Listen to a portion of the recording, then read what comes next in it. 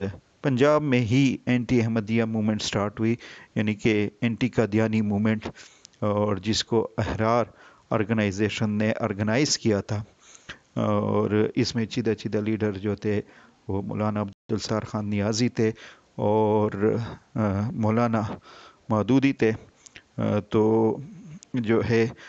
एक बहुत बड़ा एजिटेशन स्टार्ट हुआ सरगोदा और लाहौर में। और ये जो था this agitation was supported by CM Punjab Mian Mumtaz Daultana तो लाहौर में ही फ़र्स्ट मार्शल लॉ इम्पोज किया। जनरल आज़म खान उस वक्त पंजाब के कोर्ट कमांड कमांडर थे। उन्होंने जो है पहला मार्शल लाहौर और सरगोदा में इम्पोज किया। और आखिर में आन अप्रैल 17 1953 में गवर्नर जनरल गुलाम मोहम्मद ने ख्वाजा निज़ामुद्दीन को उसके ऑफ़िस से रिमूव कर दिया। उसके बाद आ जाते हैं Mohammad Ali Bogra third prime minister और मोहम्मद अली बोगरा ने जो है, जो उनके दौर में जो इम्पोर्टेंट इवेंट्स हुए, वो ये थे ही मेड कमांडर इन चीफ जो कि उस वक्त general Ayub Khan commander in chief थे एज ए डिफेंस मिनिस्टर और जिसकी वजह से दस दस paving way for military involvement in politics जिसकी वजह से क्या था कि जो है मिलिट्री को एक मौका मिला पॉलिटिक्स में हिस्सा लेने का। यानी कि Ayub Khan has the dual charges he was commander in chief of arm forces and also he was the defence minister एक उनकी ऑफिशियल पोस्ट थी और दूसरी जो है, वो एक पॉलिटिकल पोस्ट भी संभाले हुए थे। उसके अलावा उन्होंने जो है, जो क्लेशिस को ओवरकम करने के लिए उनका मशहूर फार्मूला उन्होंने, जिसको बोगरा फार्मूला कहा जाता है, अक्टूबर सेवन 1953 को उन्होंने पेश किया था। और on October 24 1955 governor general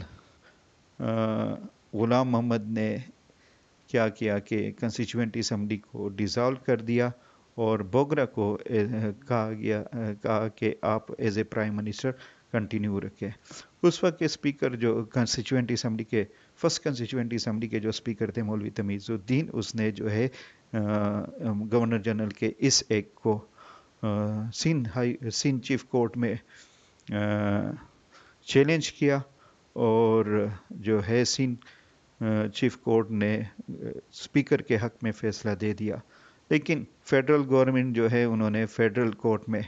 इसके ख़िलाफ़, ये सीन कोर्ट के फैसले के ख़िलाफ़ जो है प्ली जमा कराई और फेडरल कोर्ट ने गवर्नर जनरल गुलाम मोहम्मद के हक में फ़ैसला दे दिया। उसके बाद गवर्नर जनरल बोगरा उमद अली बोगरा को जो है गवर्नर जनरल सिकंदर मिर्ज़ा ने 8 अगस्त 1955 को डिसमिस कर दिया। उसके बाद Chaudhry Mohammad Ali fourth prime minister आ जाते हैं और चौधरी मोहम्मद अली का ये जो टाइम पीरियड था, ये बहुत इंपॉर्टेंट टाइम पीरियड था। He was appointed as a prime minister by governor general Sikandar Mirza on August 11 1955 और जो उन उनके जो इम्पोर्टेंट उनके दौर के इवेंट थे, उनमें जो है firm framing the constitution of 1956 and was implemented on March 23 1956 उसके अलावा जो है, उन्होंने जो सबसे बड़ा पॉलिटिकल ब्लंडर किया on appointing doctor Khan Sahib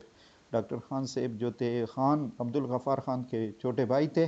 बड़े भाई थे, और he he belongs to Republican party और उसको as a C M of West Pakistan बनाया। जिसकी वजह से क्या था, बहुत से many leaguers started opposition opposing him on the appointment of a Republican as a C M और बहुत से मुस्लिम लीगर्स ने जो है उसको अपोज किया, जिसकी वजह से he resign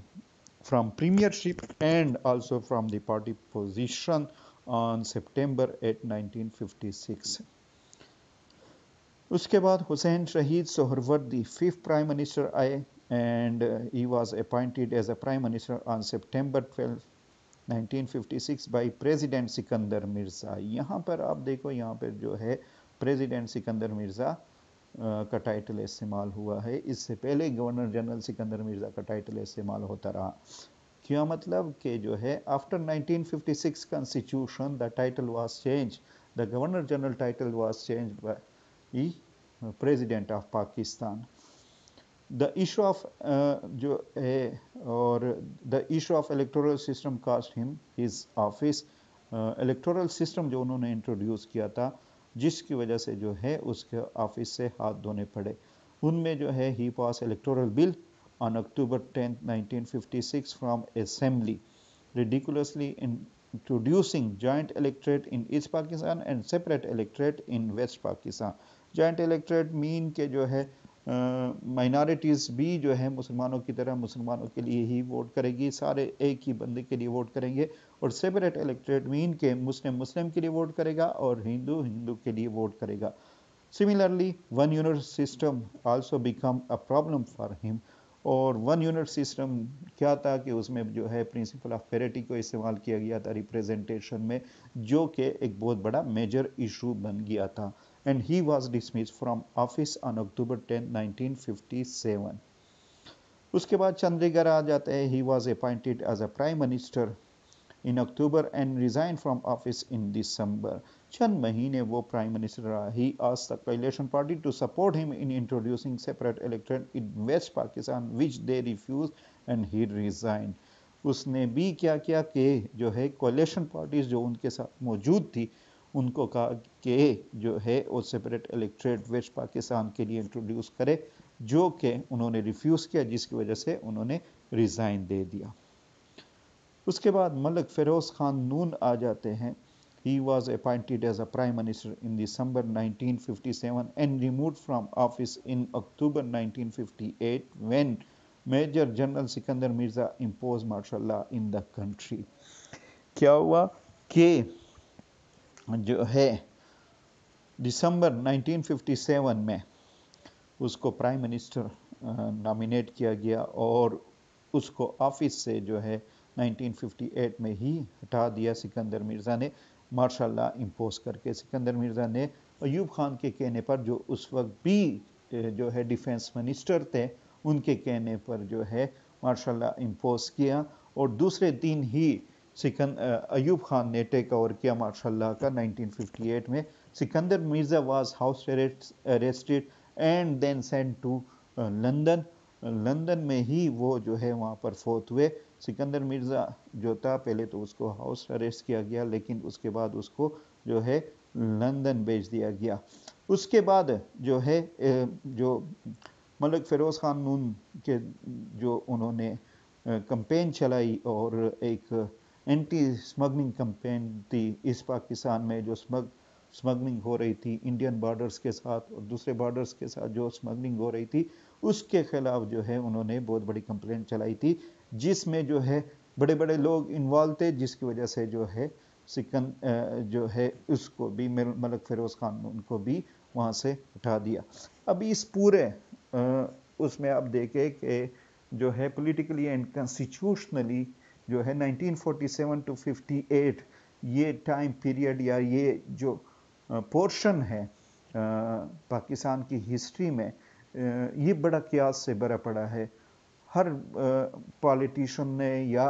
जो है प्राइम मिनिस्टर ने ये कोशिश की कि किसी न किसी तरीके से जो है इन प्रॉब्लम्स को ओवरकम किया जाए। और यहाँ पर जो है सबसे बड़ा इशू जो सामने आया वो ये था कि पॉलिटिशियंस के दरमियान जो है ना इतफाक़ी सामने आई, जिसकी बुनियाद पर जो है मिल्ट्री को भी एक मौका मिला और इसी टेन्यूर में ही, इस पूरे टेन्यूर में पहले जनरल आज़म खान ने मार्शल इम्पोज की लाहौर और सरगोदा में। चलो ये जो है एक मखसूस रीजन में मार्शल इम्पोज थी। लेकिन बाद में जो है जनरल अयूब खान ने जो है as a whole Sikandar Mirza ने और उसके बाद उसको टेक ओवर किया। अयूब खान ने और अयूब खान ने एज ए होल जो है उसको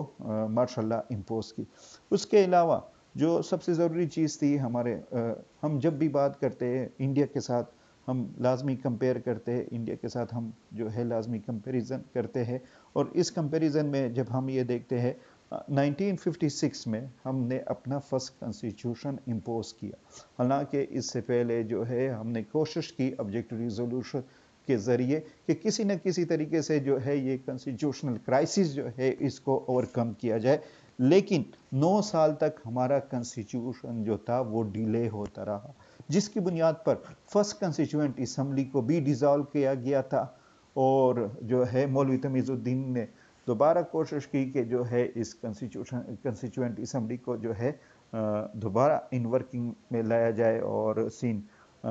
कोर्ट से जो है उन्होंने केस भी किया, जो कि बड़ा मशहूर केस है, मौलवी तमीज़ुद्दीन केस लेकिन बाद में जो है फेडरल गवर्नमेंट ने फेडरल कोर्ट से जो है ये case governor general Ghulam Mohammad के हक में उसने फैसला दे दिया। तो ये पूरा टेन्यूर पूरा सिनारियो जो है ये क्या, से भरा हुआ है और मिलिट्री को एक मौका मिला कि वो टेक ओवर करे। ओके थैंक यू अगर कोई क्वेश्चन है तो आप जो है मुझसे ऑनलाइन क्वेश्चन पूछ सकते हैं। कोई भी वो और जो है मेरे व्हाट्सएप पर भी मुझे मैसेज कर सकते हैं।